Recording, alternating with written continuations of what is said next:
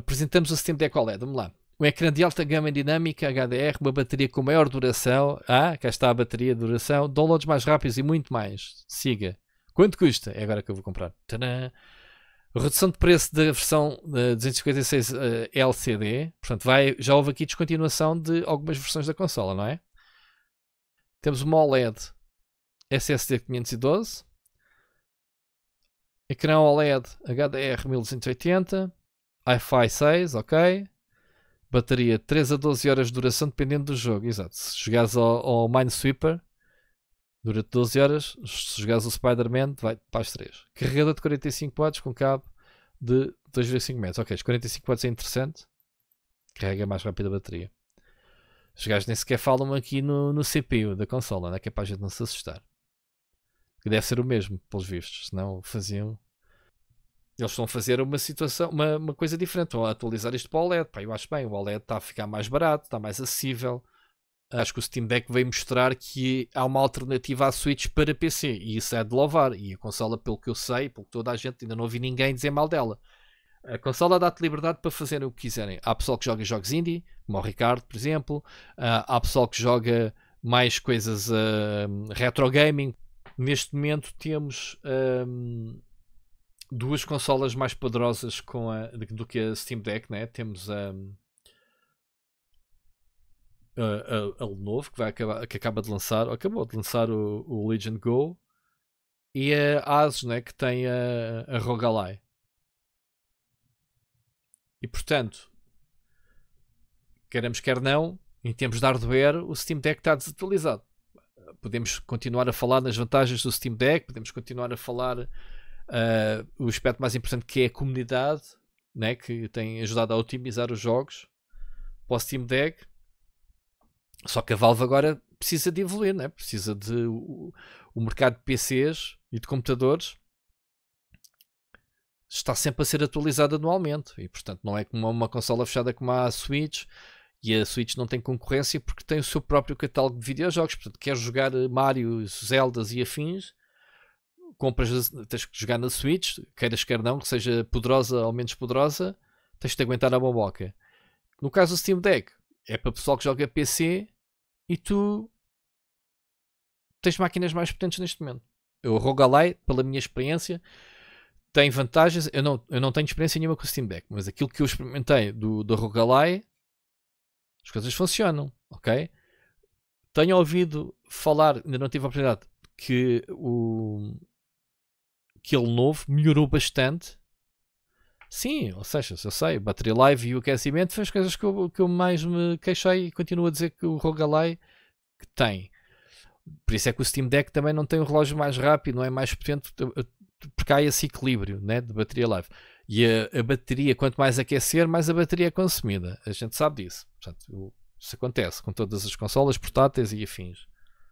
Mas não deixa de ser o Steam Deck não deixa de ser um computador que, que neste momento tem hardware superior cá fora. Então, a, a, a, a Steam pode até pegar na arquitetura, já que a arquitetura é excelente, eu nunca tive com nenhuma da mão, mas já que a fórmula é, é vencedora, né?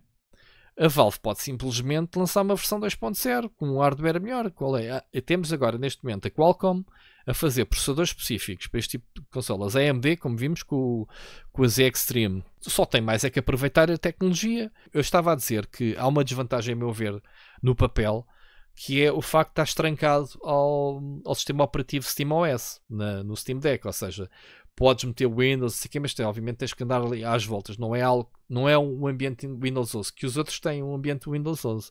Significa que eu posso ir à Epic Store, posso ir ao Game Pass, etc. Por exemplo, eu joguei na, no Rogalai, Game Pass, os Yakuzas, perfeito. Não, não estava só limitado à biblioteca do, do Steam.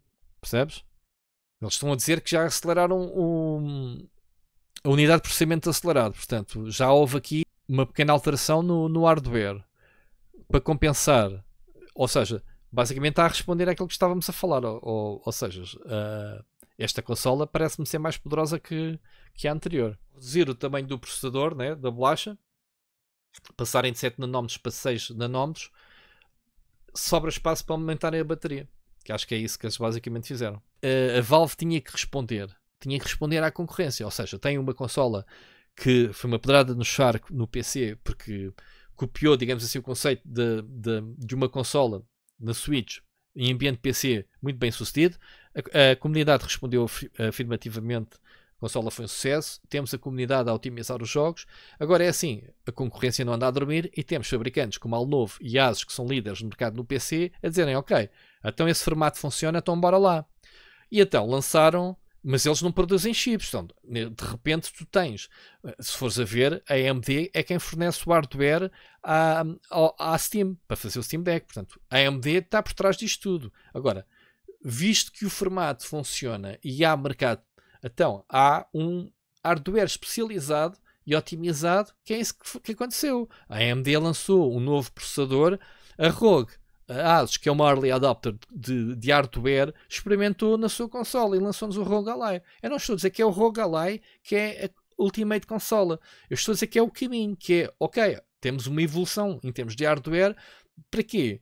Para que, pá, para não podermos dizer que os jogos simplesmente correm. Olha, este jogo corre, mas corre como? É fluido? É divertido? É porque eu experimentei vários jogos no próprio Rogalai, mesmo que aquele hardware, pá, funcionava, mas não vais ter 60 frames, ok? Spider-Man, tens que andar ali a fazer tweak, que é aquilo que está a ser feito no, no ambiente de, de, de, do Steam, que é o pessoal, olha, definições muito fixe para jogar este jogo são estas. Esta resolução, estes efeitos ligados e desligados, aquilo é gravado, não é? Supostamente num perfil, e o pessoal pode sacar o perfil e é uma definição estática, porque a consola tem o hardware estático.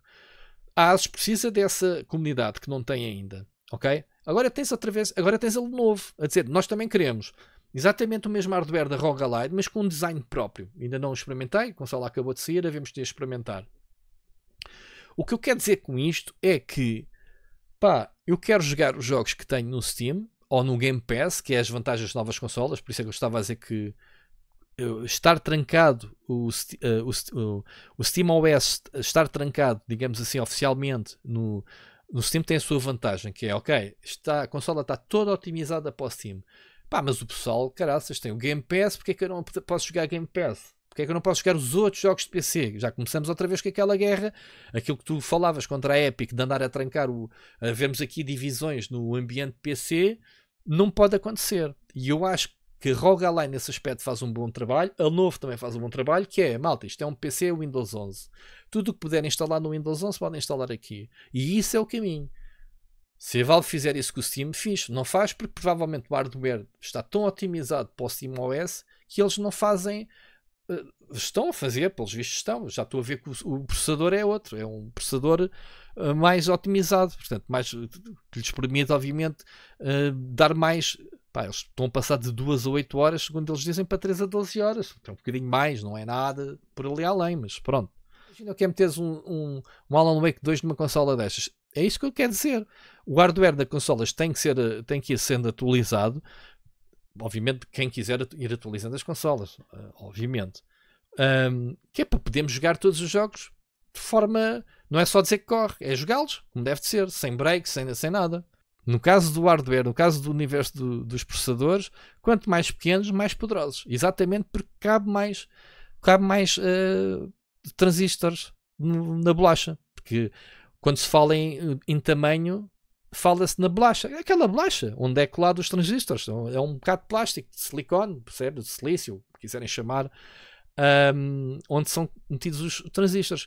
Quanto mais pequeno, não é? Mais, mais um, Quanto maior técnica, mais, mais se mete lá.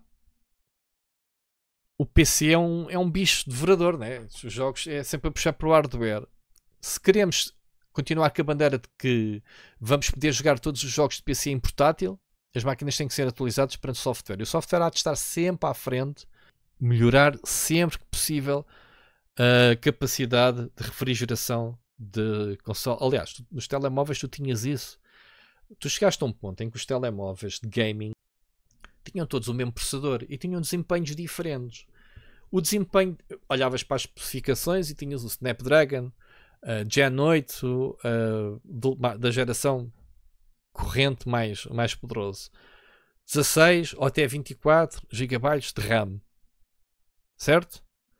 Tinhas specs todos, de uns para os outros. Depois ias ver o desempenho no, no benchmark do Antutu, que é onde eles fazem o benchmark dos telemóveis. No PC é igual. Eles vão buscar é